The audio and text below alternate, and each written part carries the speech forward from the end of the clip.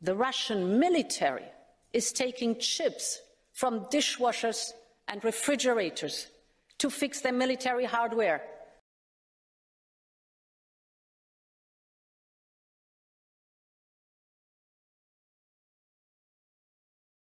Because there are no semiconductors anymore.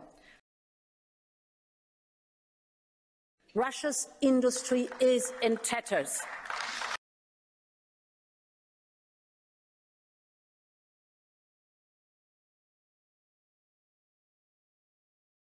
So many. So so.